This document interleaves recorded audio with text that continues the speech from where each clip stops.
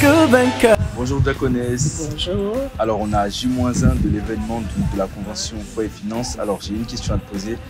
Comment tu te sens et qu'est-ce que avec ton département, comment vous vous préparez?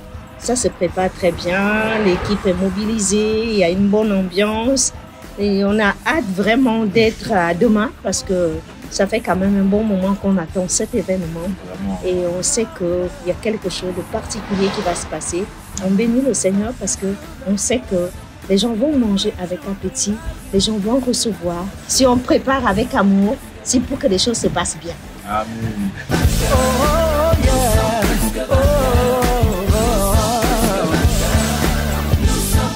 Nous sommes plus que vainqueurs. Bonjour Charlotte. Bonjour Darren. Alors tu es responsable du département logistique. Mhm. J'ai une question à te poser. On est à J-1 de cette convention Oui. Foi et Finance. Alors comment tu te prépares avec ton département?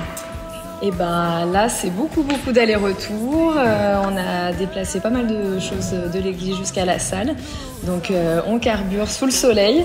Mais euh, tout se passe bien. Euh, on avance, on est motivé. Donc euh, on croit que ça va bien se passer.